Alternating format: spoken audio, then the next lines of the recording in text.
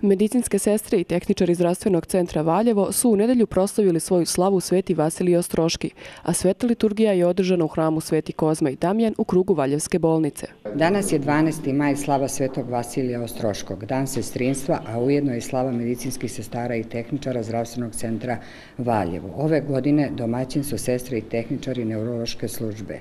U ime naše profesije pozdravljam sve građanje našeg grada i da je i da im kažem da smo, i da im ovom prilikom uh, poručim da smo uvek tu za njih.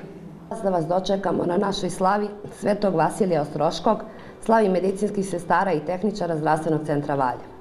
Naime, uh, zadovoljstvo nam je pardon, u, u, u toliko veće jer smo domaćini u godini pred veliki jubilej. Naime, sledeće godine navršava se 100 godina od vremena u kom je humanost, odgovornost i briga za bližnje stavljena na najveći ispit u istoriji. Uz blagoslov Vladike Milutina i ove godine je održan literarni konkurs za učenike srednje medicinske škole.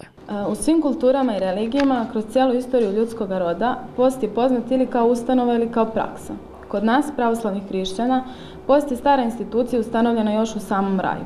Boga je ustanovio zatraživši od naših praroditelja Adama i Eve da hraneći se ne okušaju plodove drveta poznanja dobra i zla. Praroditelji nisu poslušali ovu zapovest Božiju i cela priroda se potpuno promenila, ogrehovila. Tim prvobitnim grehom u celokupnu tvorevinu uselila se smrt. O značaju posta u Svetom pismu govori se na više mesta. U Starom Zavetu Bogom izabrani jevrejski narod je postio u određene dane, a to su bili dani kajanja, izmirenja sa Bogom ili pak dani žalosti. Izlečivši bolesnog mladića koga je zaposeo duh nečastivi, gospod nam direktno poručuje da se ovaj rod, misleći na sile demonske, izgoni samo postom i molitvom. Na drugom mestu kaže, čuvajte se da vaše srce ne otežaju žderanjem i pijanstvom. Na svečanosti se obratio i direktor medicinske škole Aleksandar Maravić, ukazujući na simboliku obeležavanja dana sestrinstva, sestrinske slave i 55 godina postojanja te obrazovne institucije. Evo već drugu godinu funkcioniše. Čuli ste Kseniju. Bilo je tu još radova.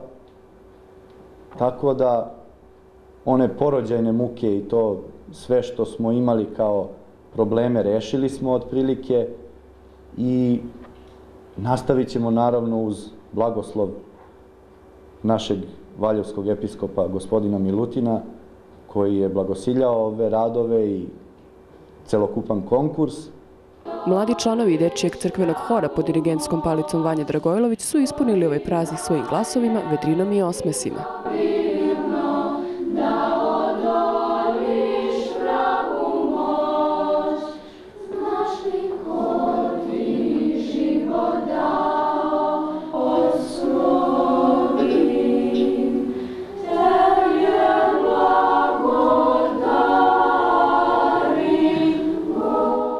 Svečanosti su prisustovali brojni prijatelji i kolege, a predstavnice sestrinstva Valjevskih crkava su domaćinima uručile prigodan dar.